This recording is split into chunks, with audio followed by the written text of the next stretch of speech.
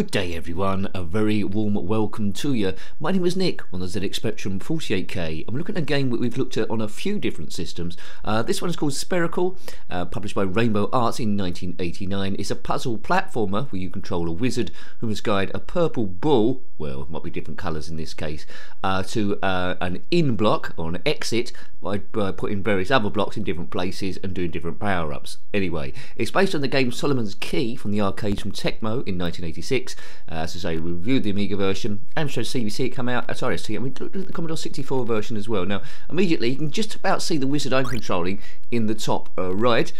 Um, blue against blue is a bad decision. But anyway, occasionally colour clashing. So you see the in block on the bottom left.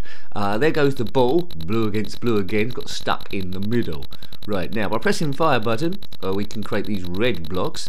Uh, one uh, next to us or above us. By pressing down and fire, it does it slightly below. Right, so we want to stop the block from falling off there. Here it comes to the uh, end also. Now, if your wizard, if you can just about see him, bumps into the enemy, you're going to lose a little bit of energy. When you lose all your energy, you're dead. Now, on the top left, I know the level's a little bit similar from the uh, other versions I played. In the top left is a ball, uh, not purple this time, red against red. Mm, this is a bit of a problem. The colours are poor here. Um, it's been released, and what I should have done, see it's got stuck there. Uh, I can't delete the solid uh, yellow blocks, all I've got is the red blocks. There's diamonds about the place, you can collect those for extra points if you get round to doing it. So I admit already I've um, mucked up this stage and I can't remember what key it was to have bought. It's not on the timer. I might have to like mm, experiment with hitting a few uh, things. So that's basically it really. A ball is released after a set amount of time. You must clear the course or by putting blocks down so it makes a clear path to the exit point and it quite easily can go in the wrong place and, you, and you're in trouble. Now you can see already with this game, uh, because of the uh, the small character you're controlling, which was apparent on all the ones, but in here, because it's the same colour as the blooming background, it makes it very hard to see uh, what you're doing uh, there. Especially if you're watching, you might know not know where the hell I am on the screen. But when you're playing, you've got half a chance. But um, yeah, that bit's poor. But apart from that, that was a bit of magic I released, trying to exit the thing. Right, how am I going to get out of here? I don't know, Nicky. So that's what I should have done. I should have done a map up there, planted a block there, uh, so it would have uh, got smoothly across, and then down to the bottom. If you've got a block down your bottom, then comment in the comment section below. No, actually, do not. This is a PG channel. Uh, no swearing here, uh, but, uh, you know, there's nothing against channels that do swear, it's just that it's not the style of this thing. So you can watch it with your kids. Right, is that exit it? No, I think I paused it. What was the exit? One of these buttons. Maybe it was F. Was it F? Don't know. F for finito. So this isn't expert gameplay. You've seen this already. It's about seeing how you would have got on your first or second go. Uh, there. Uh, if I didn't know the other versions, I would, to be fair, although there's a big colour problem, I would um, I would have liked it. Um, the movement of the character itself is good as he floats down off the blocks. It's quite easy to know what to do. Uh, magic. When you release some magic, if you collect that, it will destroy all the enemies on screen. So best to leave that for a later stage, right? So this one's fairly straightforward. Put that red block down. Here comes the ball, which is purple in every other version. So do check out the Commodore 64 version. Do check out the Amiga version. Um, this looks typically Spectrum, but uh, I had a Spectrum back in the day, so I'm biased.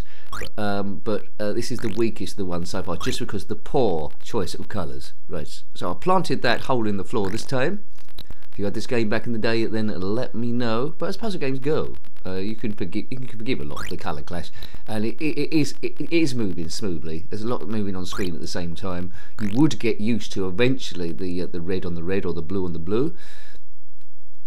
So time's ticking in the bottom right. You see that's a timer for when the ball's going to be released. You see it's just about midway on the left. It's a magenta one this time. It's in disguise. It's camouflaged like the predator.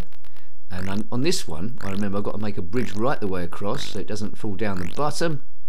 And then, oh god, up against it. Then, then I'm going to uh, dig a hole in that and try and build um, a stairway up so it falls into the inn. Happy days. Good guys. Oh no. Yes, any collision with the ghosts, you losing energy big time. That's going to go in. First time all the time. Eveline. Yay. Good, good, good. If you watch this far into the video, please consider subscribing. Uh, there's a lot of competition out there from ch new channels all the time, but uh, if, you've, if you've watched at least one video on this one, then thank you very much. Right, what's that? Is that a power up over there? Not sure. Right, there's the inn. You can see. Uh, there's a big trophy on the top right. I think that from from playing the Amiga version, I think that might be a, a warp gate to another stage. Right, so there's a lot of levels in this. Um, I'm basically on the, the basic levels at the moment, just doing blocks, but there will be other stuff to do the later you get on. So it's got a good learning curve on this one, and I could highly recommend it. Yes, good. It is a good. It is a good game, really. Spherical. You might not have heard of it. You might not have heard it, or you might have had it all the time. Right, off we go again. Next stage, stage four. It says on the top middle. I'm I'm enjoying it really. I mean, I I, I did um, have a go at the colours to begin with, but I, I'm getting used to it now. Right, what is that over there? Is that a warp? No, I'm invincible, it says. I can pass through anything. Here comes the ball. Here comes the ball. Um, right, so it's quite obvious what I need to do here. I need to build a stairway to the inn without losing my ball down the bottom. Now, I think there's a purple vial about midway bottom. I think that's poison if you bump into that. And I bumped into it, so I'm going to die. Well done, Nick. Game over. See, I was doing well, but then I drunk poison. So, you know, if you're doing well, then don't drink poison. That's my tip for the top. There we go. Top of the leaders board. Programmed by Darren White. Artwork by Jason Green. Did that say? Oh, we're off it quite quick. Right, light backgrounds. Could we, get, could we go dark backgrounds? Hmm, we'll keep it on light for the time being. Right, let's have another go. Bum ba bum ba bum ba ba bum. No in-game music. Well, it's 48k. It wouldn't. 128k might be music there, but the, what the music is there is suffices. That's all you need really for a puzzle game. So this first level is fairly straightforward, isn't it?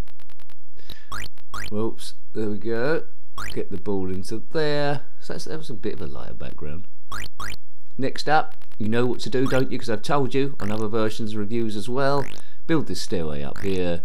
There we go. Plug that gap. Good. Thank you to the members keeping this uh, channel running. It is really really appreciated. I try and give as much as we I possibly can. If you want to see other ZX Spectrum reviews there is a link in the description called other ZX Spectrum games or commentaries. Can't quite remember which of the two I've said but it's there.